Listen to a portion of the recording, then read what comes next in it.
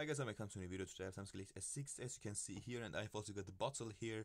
So um, this is basically because I don't have any tripod at the moment um, at my house. So I use this bottle as a tripod right now. So I basically placed my phone on this bottle here so sorry for that but as you can see I have the Galaxy S6 here which has this um, this um, S8 launcher on board and as you may already know I had made a video about the Galaxy S8 launcher for all Samsung devices running on Android Nougat.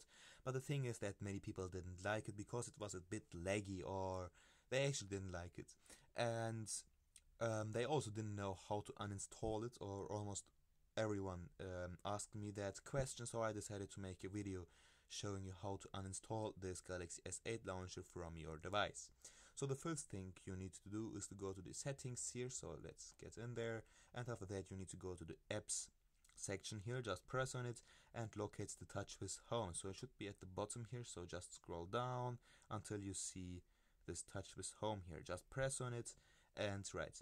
So to uninstall this S8 launcher, we need to go to the three, uh, three dot menu here and say uninstall update. So just press on it and say OK.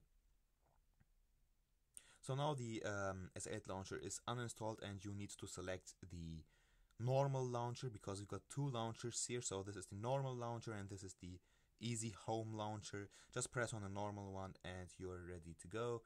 Um, Right, so this is now the old launcher of Android Nougat on the Samsung Galaxy S6. Um, the same process can be done on the Galaxy S7 also, or basically on all Android, uh, on all Samsung devices which run on Android Nougat.